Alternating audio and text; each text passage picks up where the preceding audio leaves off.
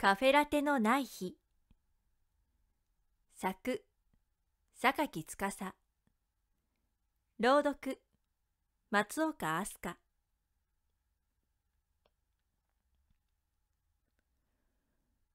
ラッシュの地下鉄なんて最低。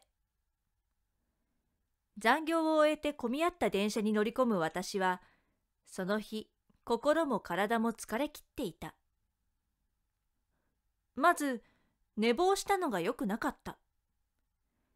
朝食はきちんと取りたい方なのに、飲み物すら口にしないまま家を飛び出した。しかも間の悪いことに、私が乗る駅は構内を工事していて、いつもより遠い入り口から大回りして入る羽目になった。せめて大好きなカフェラテでも、と会社近くのコーヒーショップに寄ろうとしたら、今日に限って長蛇の列。結局自販機のまずいコーヒーだけでお昼まで持ちこたえなければならなくなった。なのに今度こそおいしいコーヒーと待ち構えていたランチは会議の都合でお弁当とお茶のセット。ああもう。がっかりした気分でいたせいか仕事もうまくはかどらずミスを連発。こういう日ってたまにある。すべてがギクシャクして噛み合わない感じ。なのにそんな時に限って友達からのメールも電話もなし。晩ご飯どころかお酒の予定も立たず、仕事を終えて一人で家路に着く私の足取りは限りなく重い。ぬるい風とともに列車のドアが開き、乗客がどっと吐き出される。どの顔も皆不機嫌そうに歪んでいるのが憂鬱な気分に拍車をかけた。駅員のアナウンスがヒステリックに駆け込み乗車は危険と訴えているけど、そもそも降車さえままならないような状況で何を言っているのかと思う。発車しますお気をつけください雷おこしの泡粒のようにぎっちりと詰め込まれた私たちは、ぎっしりと音を立てて動き出した車内で声にならない悲鳴を上げる。痛い押さないででも俺だって押されてるんだよ私も足をつくところがないの。僕だってヒールでもないのにつま先立ちなんだ。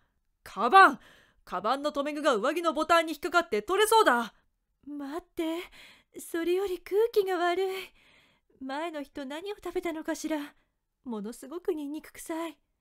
いや、私は甘ったるい香水の方が気になるよ。気持ちが悪くなる。地獄がもし本当にあるとしたら、それはきっとこんな場所なんじゃないだろうか。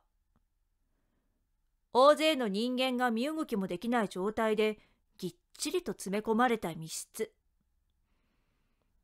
これがもし1時間走り続ける特急だったなら、みんな気が狂ってしまうかもしれない。つり革をつかみ損ねた不安定な体勢で、私はそんなことを考えた。そもそも地下鉄には景色がないのがよくない。一応窓があるくせに、そこから見えるのは茶色や灰色の無機質な壁ばかり。でももっと良くないのはそこに人の姿が映ること。ただの壁ならぼんやりとそちらを向いているだけで済むのに、車内のガラスはモノクロの鏡と化して私たちの姿を映し出す。そして女にとっては最悪なことに、蛍光灯の光は普通の顔でさえ、少し疲れて老けたように見せるのだ。だから私はガラスに映る自分の姿は極力見ないようにしているのだけど。もっと言うなら、背後の人と目が合うのも良くない。自分の顔をチェックするつもりで目線を上げたりすると、やはり同じように窓を見つめていた人と鏡越しに目が合ってしまうのだ。あれは、なんというか、気まずい。地下鉄に対する不満をブチブチと考え続けていたところで急カーブに差し掛かった。ドミノの駒のように押された私はそれでも倒れまいとして何とか踏みとどまる。こんな時頭に来るのは鋭角的な肘で押してくるやつだ。右脇を強く押されて私は痛みのあまり顔をしかめる。まだ夕食を食べていないせいか胃のあたりがしくしくしてるっていうのに。なんでこんなにあちこち痛い思いをしなきゃならないんだろう。一体どんなやつが押してるのか。頭に来たので今日はあえてガラス窓に視線を移した。見ると同じ年くらいの女だった。誰もあんたに痴漢なんてしないから、おとなしく腕を下げといてよと心の中で毒づきながら、私は女をにらみつける。けれどこんな時に限って、当の本人は窓を見ていなかったりする。まったく役に立たないったら。本当は私だって、こんなギスギスした気持ちでいたくはない。けれど止まらない。はあ、地下鉄なんて乗らなきゃよかった。だって胃が痛いし、何より気分が最低なんだから。でも降りたところでどうなるものでもない。だって結局はまた地下鉄に乗らなきゃ家に帰れないし、私はレストランに一人で入る勇気もないんだから。とにかく時間が過ぎるのを待とう。あと少し我慢しよう。そう思った矢先、二度目の急カーブで私はその人に気づいた。ガラスで見た位置関係からすると、私のちょうど真後ろ。背の高いその人は、ラッシュの車内から頭一つ抜けていたのでよく目立った。視線が合わないのをいいことに、私はこっそり彼を観察する。私好みの優しそうな顔。オアシスって感じ？ちょっと親父臭いけど、その時私は本当にそう思った。すらりと背が高くて、混み合った車内でもゆったりとした表情を浮かべる人。顔は心根まで表すのか、私は背後からこれっぽっちも押されてはいない。おそらく彼が防波堤になってくれているのだろう。しかし気持ちが和らいだのもつかの間。電車が揺れてぼんやりと窓を見ていた私は、左側のおじさんからきつい当て身を食らった。一瞬息が止まりそうになるほど肋骨のあたりが痛い。しかもその衝撃で忘れていた気分の悪さがぶり返してきた。そうなると途端にラッシュが耐え難いものに感じられてくる。もう降りたい、早く降りたい。呪文のように繰り返しても一度襲ってきた波はなかなか引いてくれない。貧血のせいか血がすっと下へ落ちていくような感じがする。かろうじて立ってはいられるけど、なんだか泣きたい気分になってきた。軽いパニック。私は熱くなってきた喉元をぐっとこらえながら、心の中で叫んだ。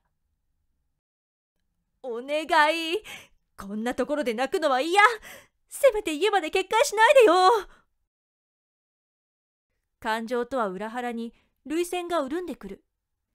ぎゅうぎゅうの車内で突然泣き出す女なんてどこかおかしいんだろうと思われるのがオチだ。せめてもの防御策として私はできるだけ上を向き遠くを見つめることにした。すると再びガラスの中の彼が目に入ってくる。しかも最悪なことに今度は彼も窓に視線を投げかけていた。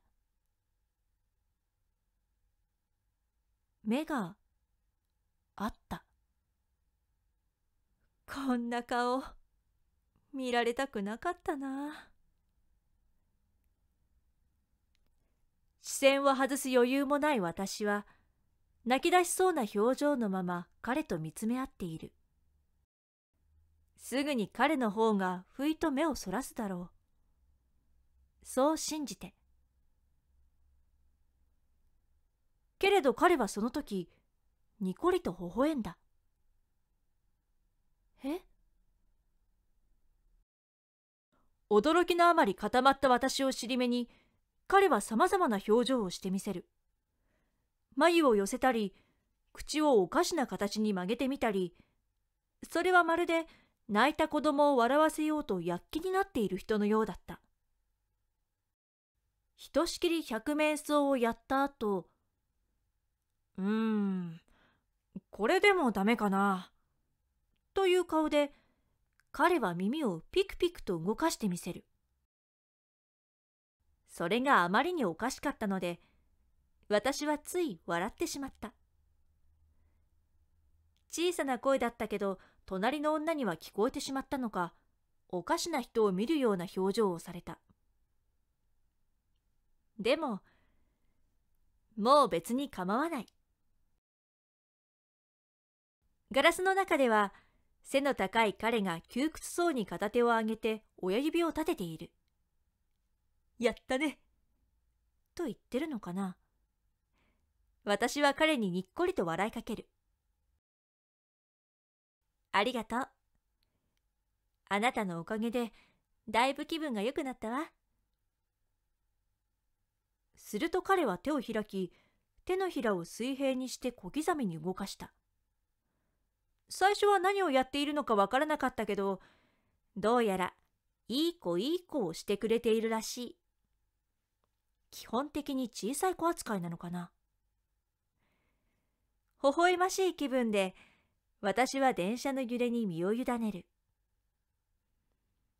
窓ガラスに映る私は、彼の手の下で、いつもよりほんの少し可愛く見えた。いい気分のまま地下鉄は私の降りる駅に滑り込むブレーキの衝撃ではっと我に返った私はせめて言葉くらい交わしておきたいと背後の彼を振り返ったしかしそこに彼の姿はなかった不思議そうな表情で私を見返しているのは中肉中背の若いサラリーマンガラスを見ても人の中に埋没してしまっている。彼じゃない。慌てて辺りを見回してみても頭一つ抜けた人物なんてどこにも見当たらない。開いたドアから自動的に押し出されるまで彼の姿を探してみても私は彼を見つけることはできなかった。降車客はすでにみんな改札へ向かってしまい、私だけがぽつねんと空のホームに立っている。なんだか、狐に化かされたような気分だ。あれは気分の悪い私が見た、都合のいい幻だったのだろうか。でもまあ、いっか。おかげで無事に過ごせたわけだし。深呼吸をして私はくっと顔を上げる帰ったらちゃんとご飯を食べてゆっくりお風呂に入りちゃんと眠ろうそれで明日も頑張るんだ。階段へと歩き出した私はラッシュで乱れた髪を直そうとホームにある鏡を何気なく覗く。すると私の背後に同じようなポーズでかがみ込んだあの彼がいたずらっぽい微笑みを浮かべて映っていた。ここにいたの？振り向いた瞬間対岸のホームに列車が滑り込んできて強い風が髪をさらう。ゴという音が止んだ時にはもう彼の姿は見えなくなっていた。もしかして幽霊？混乱した私はそんなことを考えましたけれどゆっくり階段を上るうちにそんなことはどうだっていいような気分になってくる。幽霊だって妄想だって構わない。明日の私に元気をくれるならそれで OK 今度いつ会えるかわからないけどその時まで元気でいてね。私は小さく「地下鉄の神様」とつぶやいてみる。それに応えるかのようにホームから吹き上げる風が私の背中を押した。